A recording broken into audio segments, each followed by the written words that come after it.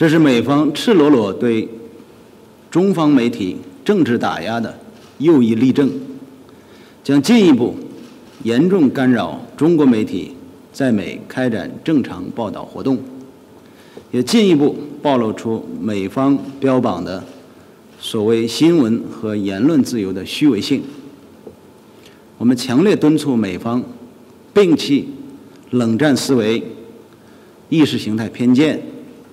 立即停止和纠正这种损人不利己的错误做法，否则中方将不得不做出必要正当反应。